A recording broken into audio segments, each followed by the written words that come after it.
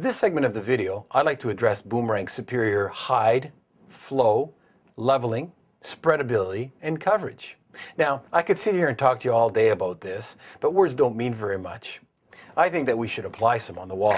Then you'll see for yourself just how great it looks. Come on, let's do it.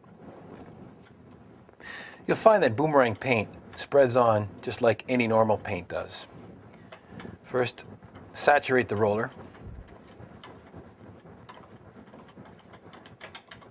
Now, let's apply it on the wall.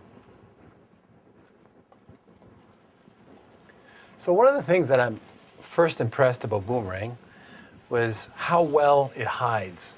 This is a teal dark green wall. This is just a beige going over top of it. And you can see it has almost covered it in one coat. All right, there. I just finished rolling on the first coat of paint. Now, I'm going to wait for about five minutes. And one of the things I love about boomerang paint is that literally I'm going to re-roll that wall when it just tacks up in about five minutes. That's called a back roll.